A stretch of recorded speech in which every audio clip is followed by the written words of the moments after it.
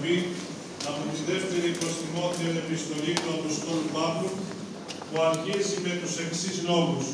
Τέκνον Τιμόθε, εν δυναμό εν τη χάρητη τη εν Χριστώ Ιησού.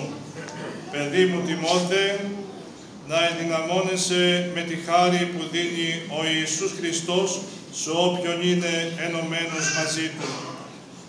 Τη θεόπνευστη αυτή προτροπή ακολούθησε και ο Άγιος Παντελεήμων από μικρό παιδί.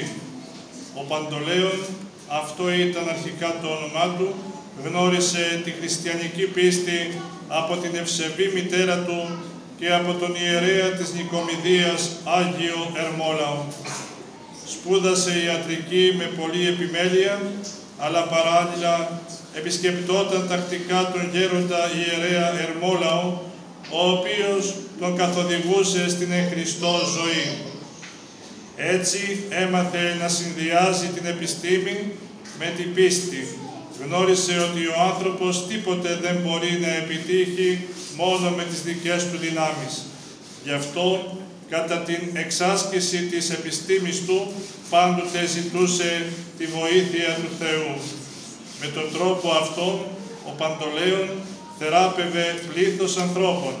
Επιπλέον φρόντιζε όχι μόνο για την υγεία του σώματος, αλλά και για την υγεία της ψυχής των ασθενών του και με τη χάρη του Θεού οδηγούσε πολλές ψυχές στη μετάνοια και τη σωτηρία.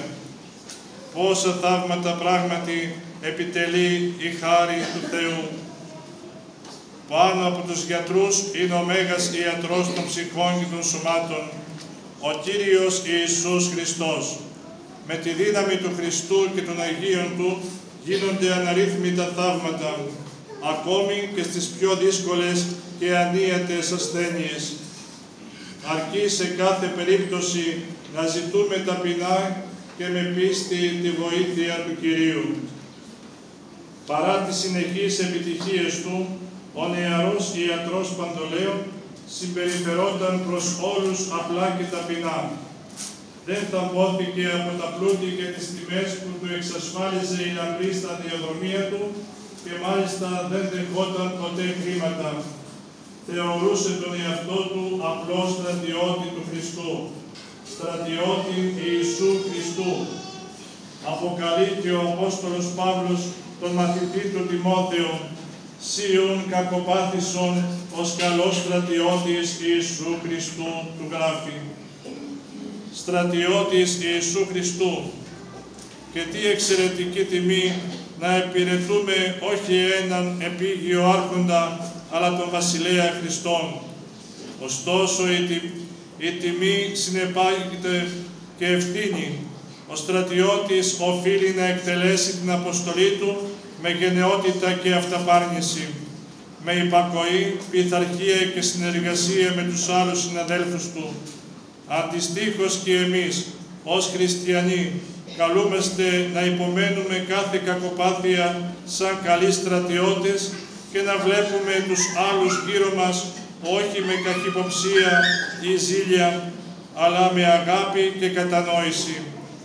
Με τη συνέστηση ότι όλοι είμαστε στρατιώτες και που καλούμαστε να εργαστούμε για την ανακούφιση των πασχών των αδελφών μας, για την πνευματική οικοδομή μας και τη δόξα του Χριστού.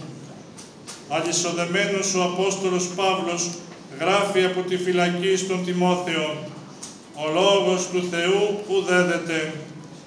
Αν είμαι εγώ δεμένος, ο Λόγος του Θεού δεν περιορίζεται». Και πράγματι, οι θεόπνευστες επιστολές που έγραψε στα χρόνια της εχμαλωσίας του μεταδίδουν πνοή ζωής και ελευθερίας. Στη φυλακή οδηγήθηκε και ο Παντολέων από τους ειδωρολάτρες που τον υπέβαλαν σε φρικτά βασανιστήρια για να τον αναγκάσουν να αρνηθεί την πίστη του και για να φημώσουν τη φωνή του. Αλλά επέτυχαν ακριβώς το αντίθετο, διότι αν και ήταν φυλακισμένος ο νεαρός αθλητής του Χριστού, κατόρθωσε με τις θεοφώτιστες διδαχές και το ολοφώτινο παράδειγμά του να μετατρέψει πολλούς ειδωλολάτρες και να τους οδηγήσει στην αληθινή πίστη.